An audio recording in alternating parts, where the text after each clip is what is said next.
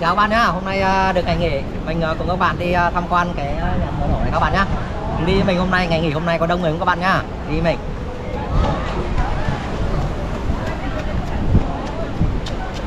Rồi, hôm nay rất là đông người các bạn à Ngôi nhà thờ đổ ngày lễ. Hôm nay là ngày lễ phục sinh của người công giáo các bạn ạ.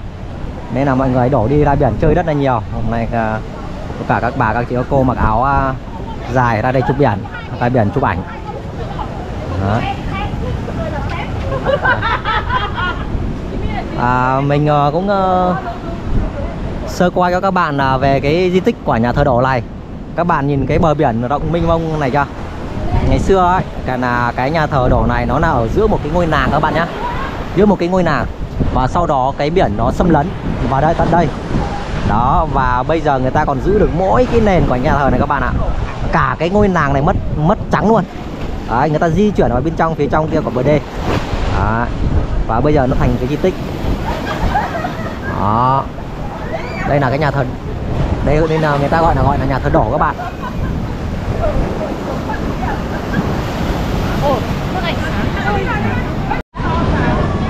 Bây giờ người ta đã quay lại có mỗi cổng chuông các bạn nha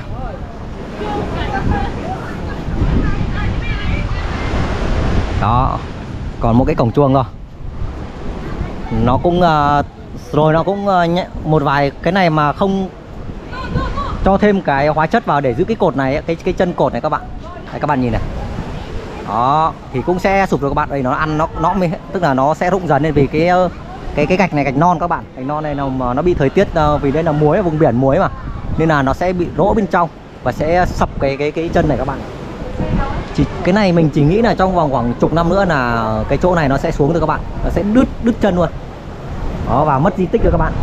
Mình cũng hy vọng rằng cái uh, uh, bà con ở nơi đây hay là khu di tích bảo bảo tồn cái chỗ này á sẽ uh, trùng tu lại cái chỗ này các bạn ạ. Đây các bạn xem cái chân này. Đây là chân chính các bạn nhá một cái chân này nó mà sập ấy nó đứt đứt ấy. Đây này. Đó. Nó sẽ sập cả luôn. Đấy, và người ta bây giờ cũng vây sắt rồi để cho mọi người khỏi vào đây. Nó vì là vì an toàn người ta vây nha chứ không phải nào vì cái di tích này các bạn ạ. Vì vì, vì cái này nó không nằm trong di tích của uh, tức là lịch sử văn hóa gì cả. Đây còn đây là cái đuôi nhà thờ các bạn. Đấy, đây là cổng chuông này tức là đầu nhà thờ à, phần cuối này các bạn. Đó đến đây hết.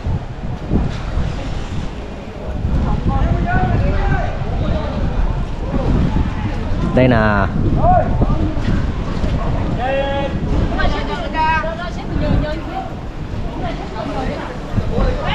đây là nhà thờ cái cái ờ,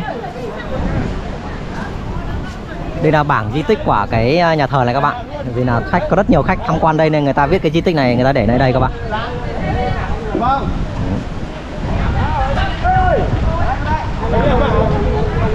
Còn mỗi tí phần cổng chuông cuối đâu.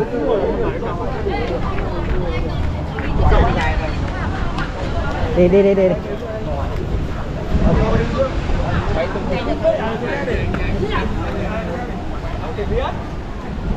Đấy, rất đông khách du ờ, khách Hà Nội người ta đến chụp ảnh này. Đấy đông nhỉ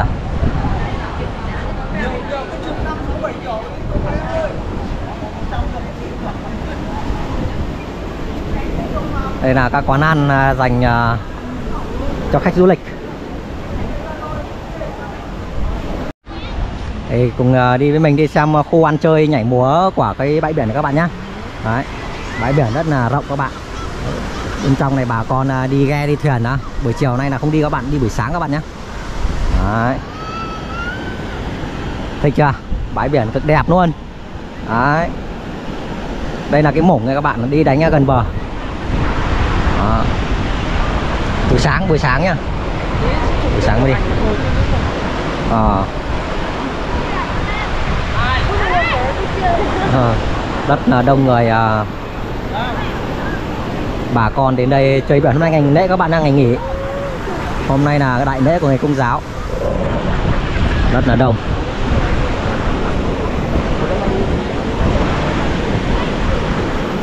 Đấy cắn hướng dương ngắm biển thì cực kỳ tuyệt vời các bạn ạ không có gì còn đẹp bằng luôn. Ừ. đấy thích chưa?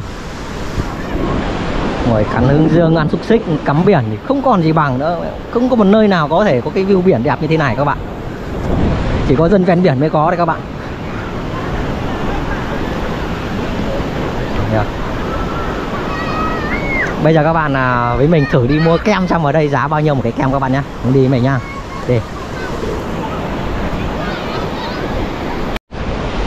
Thực ra thì ờ, chỗ này vẫn là chưa phải là khu du lịch uh, cao cấp các bạn ạ. Cũng chỉ gọi là du lịch uh, tự phát đấy các bạn. Uh, nên là chưa được uh, chú trọng cho lắm. Nhưng mà bà con uh, quả huyện Hải Hậu uh, chúng mình nhé thì uh, về đây cũng rất là đông. Bởi vì có cái chứng tích lịch sử có cái cổng chuông nhà thờ đổ kia các bạn. Đó. Người ta cũng uh, muốn đến đấy để cho nên là có một cái điểm nào đó để chơi ấy. Thực, bà con đây cũng là đi biển uh, ven bờ thôi. Đấy, đây chỉ có thuyền nhỏ nhỏ các bạn.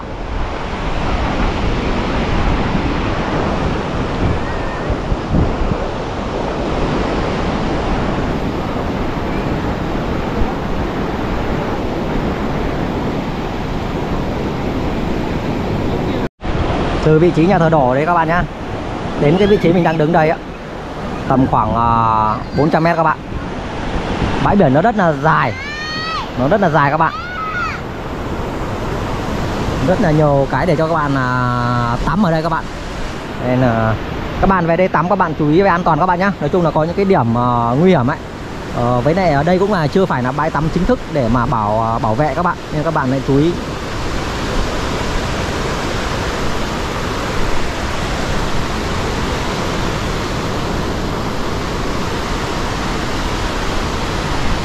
Ui giời. À, ở đây ờ, cũng bắt đầu họ đã sửa sang lại ờ, những cái nhà tròi ở để cho chúng ta ờ, ngồi ăn uống với lại cái chỗ để mà tắm ấy các bạn. Đấy, khi mà chúng ta tắm biển thì chúng ta vào chỗ này chúng ta tắm, để đi vệ sinh các cái nữa. Đấy, các bạn. Thích không? Dân vùng biển nó có nhiều cái hay lắm các bạn ạ.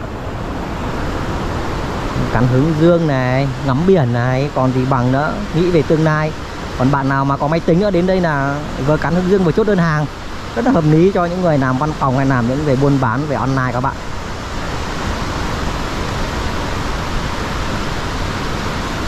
Bây giờ chúng ta ngồi vào đây chúng ta ăn nhá các bạn nhé đi nào đâu? Rồi à, thấy anh quay các em men men cầm anh cả mua kem đấy xúc xích. Gọi đi. Kem gì ơi. Kem không?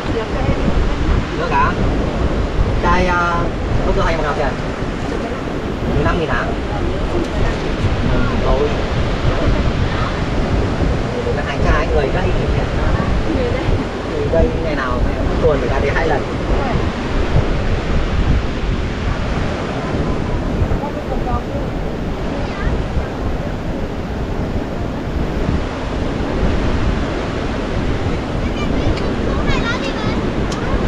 hai chai hai mươi hả hai chai hai mươi có có có có thời gian cắn hướng dương không?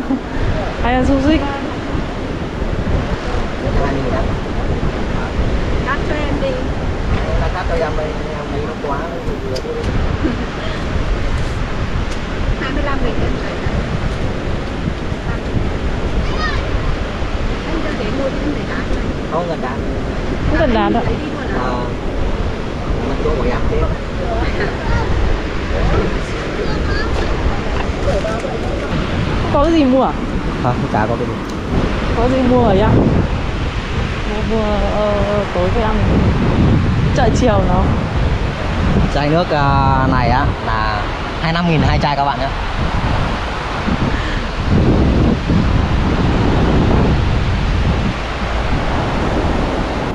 các bạn à, mang nước mua nước chai nước các bạn. Uống nhớ mang về các bạn nhá. Hoặc là bỏ vào thùng, thùng rác đúng nơi quy định tuyệt đối các bạn không được vứt rác xả xuống trực tiếp vứt ra đây các bạn.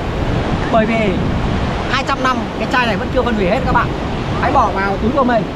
Các bạn nhá mang về nhà. Vừa rồi mình đã giới thiệu các bạn à, về cái điểm à, du lịch à, sơ qua của huyện Hải Hậu mình các bạn ạ.